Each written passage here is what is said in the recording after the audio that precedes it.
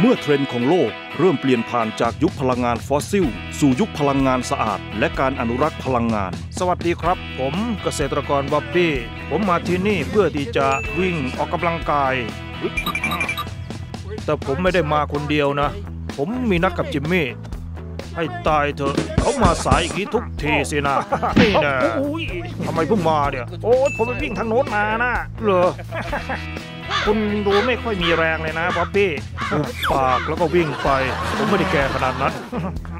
ผมว่าไปทางด้านโน้นดีกว่านะบ๊อบบี้ไปเลยโอ้โหหวาดเสียวเป็นบ้าเลยเด็กเล่นได้ยังไงเนี่ยแบบนี้น่ากลัวโอ้โหโอ้เยี่ยมโอ้ได้ปล่อยแกเยี่ยมไปเลย เหมือนเราแย่งของเด็กเล่นยังไงไม่รู้นะ เออไปไหนอะผมว่าไปทางโน้นดีกว่า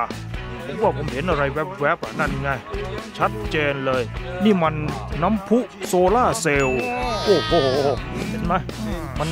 พวยพุ่งอย่างทรงพลัง ผมสังเกตว่าคุณจะหลงใหลพลังงานโซล่าร์เซลล์มาก ๆ เลยนะบ๊อบบี้แน่นอน มันดีต่อโลกใบนี้นะ ปัจจุบันเนี่ยเทคโนโลยีโซล่าร์เซลล์ถูกพัฒนาให้มีขนาดเล็กลง แต่มีประสิทธิภาพดีขึ้นกว่าเดิมถึง 3 เท่านะผมว่าแสงแดดนี่แหละเป็นพลังงานสะอาดที่ไม่มีวันหมดไปจากธรรมชาติอะเดี๋ยวถ่ายรูปให้สักแชะดีกว่าแชะ โอ้วันนี้ร้อนไปเลยอะขอบคุณคุณมากที่พาผมมาวิ่งลดความอ้วนวันนี้ ผมยินดี